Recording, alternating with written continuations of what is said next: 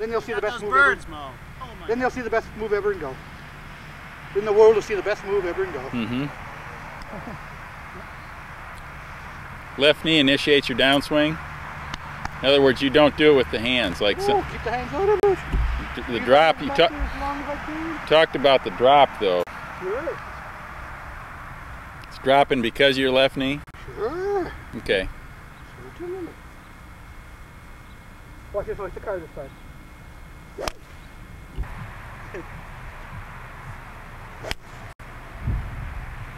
When you hit that shot, what do you feel?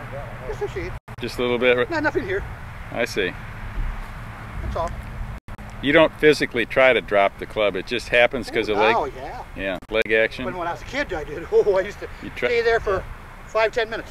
Just Dropping used to stay it? there like that. Mm-hmm. Used to stay like that for five or ten minutes. Mm-hmm. Just trying to keep your legs flexed. Kind of. In a sitting position. Mm-hmm. You don't think then that like the they're teaching that the the left side's dead motion. it's not coming up, is It's it? too much dead motion. Uh huh. I see. They're swinging around the ball, not through the ball. Mm-hmm. In fact, they're not swinging at the ball, they're hitting. Mm-hmm. Last thing in my mind is hitting the ball. Swing at it. Watch, here. Million dollar swing, watch. It is pretty good. Million dollar swing. I can't argue with you. Tell me. Especially you got it on film too. You think Yeah. it was luck here? No argument Watch here. again. Million dollar swing.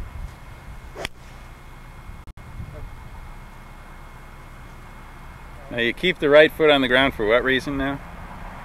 Keeps it more stable. More stable? Sure And you don't go to the outside of the left foot ever. Never. Never.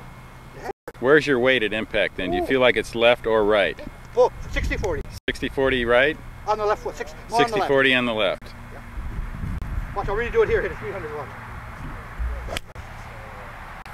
So actually you think the modern player is getting too much weight to the left side Too quickly. too quickly.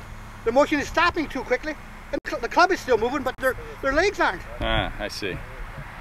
Yeah, They got the reflex action, right. which is bad. So they got to get real handy then.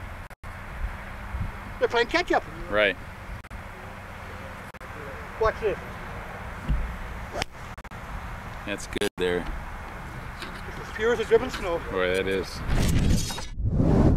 I don't know. I, mean, I was talking to the guys earlier this morning. This might be the most talked about subject matter that we talk about in, in all of our instruction is what is occurring in the stabilization. How does the, you know, people talk about lateral movement. And I'm not a, I'm not a big proponent of lateral movement. And I'll tell you why.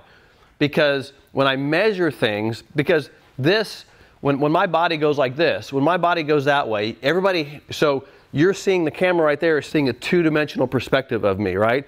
But you're not seeing this element of that movement. You're just seeing this element of the movement.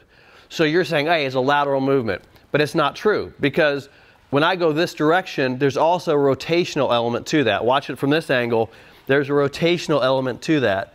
So that right there is the motion I want where it's both it's both lateral and rotational, but they don't they're not independent of each other. In other words, there's no lateral motion without the rotation in that.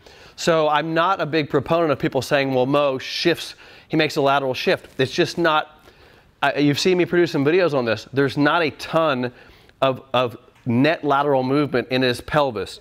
If you look at Moe from behind, you can see if you put a, put a line on his sacrum and he makes a backswing, that sacrum goes forward, and then by the time he gets through impact, it comes all the way back. So you're not seeing a net lateral movement of the, of the sacrum at all. You're seeing it move a little bit as he moves, but he's rotating in this motion.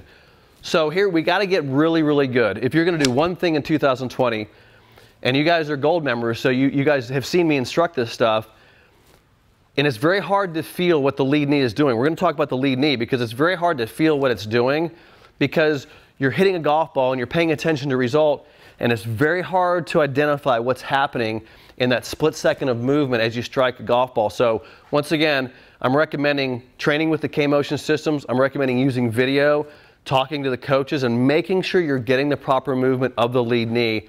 So let's talk about it.